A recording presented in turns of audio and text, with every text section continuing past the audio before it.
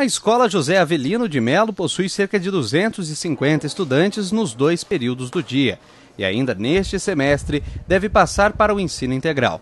Segundo a diretora, todas as classes devem ser beneficiadas com as aulas extras. Eles vão ter aula na, na parte de cultura de dança, de teatro, de artesanato, pintura, esporte, lazer, eles vão ter futebol, vão ter basquete e Assim, nós estamos ainda criando um pouco de oficinas, mas já estamos bem estruturados para começar mesmo. No período programado para as aulas regulares, nada muda. Já no contraturno escolar, os estudantes deixam de ir para casa, almoçam na própria escola e vão praticar artesanato, esportes e terem aulas de literatura e cuidar de uma horta comunitária. Nós vamos ter o canteiro sustentável e nós vamos formar uma horta e uma farmácia viva.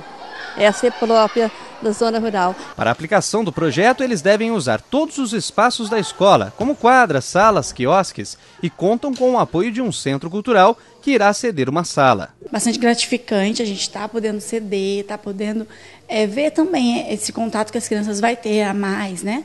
a partir dessa escola integral. Né? Vão, vão, vão enriquecer, com certeza.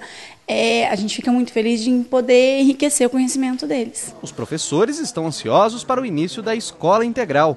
Danusa acredita que com as aulas o dia todo, o rendimento da classe deve aumentar. Acredito que sim, porque os alunos é, vão estar mais motivados, né? vão estar entrando em contato com várias atividades diferenciadas e isso provavelmente vai beneficiar bastante o nosso trabalho aqui no período que a gente está dando aula. Né? Isso é algo muito importante, muito significativo, que vai permitir ao aluno ter aí uma, uma vida escolar mais integrada, uma vida escolar é, mais antenada à realidade do seu dia a dia. Outras três escolas da zona rural de Poços de Caldas também recebem o projeto Escola Integral. São as escolas municipais Lúcia Sacomã Junqueira, da Fazenda Aparecida, a Escola Rafael Sanches, da Fazenda Boa Vista, e a Escola Carmélia de Castro, da comunidade Souza Lima. A escola integral tira crianças da rua e do trabalho na zona rural. Eu acho que vai ser muito bom para gente aprender mais, a ficar por dentro dos assuntos. Eu acho que vai ser muito legal para a gente aprender mais coisas diferentes que a gente não sabe. Eu espero melhor para a escola, né? Para melhorar, para melhorar o ensino dela. Acho muito legal porque a gente vai aprender muitas coisas assim. É, acho que é muito legal.